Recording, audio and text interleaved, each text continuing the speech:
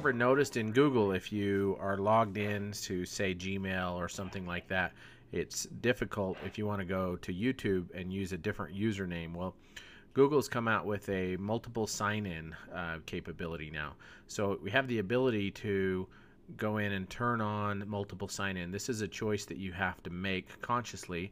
It doesn't work for all Google apps, but it does work with Gmail, the Google Calendar, Google Sites, Google Reader, uh, Google Voice, uh, the App Engine, things of that nature. Some of you may not use those, but anyways, it's really easy, and I'll just show you quickly how to do it. If you just go over here to your account settings, um, and basically go down to account settings, and when this screen comes up, you'll see this cool little um, feature right here that says multiple sign in off. You can go in here and click edit.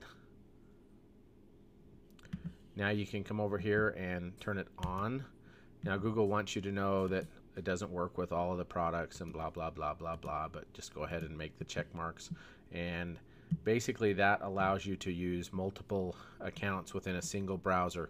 Cool little tip save you some time logging in logging out logging in logging out if you like me and you have multiple google accounts. So um, basically once you save this now um, your information has been updated and we're good to go and that way you can have multiple tabs open and be able to be logged into multiple Google accounts at one time. Hopefully this is helpful and talk to you on the next one.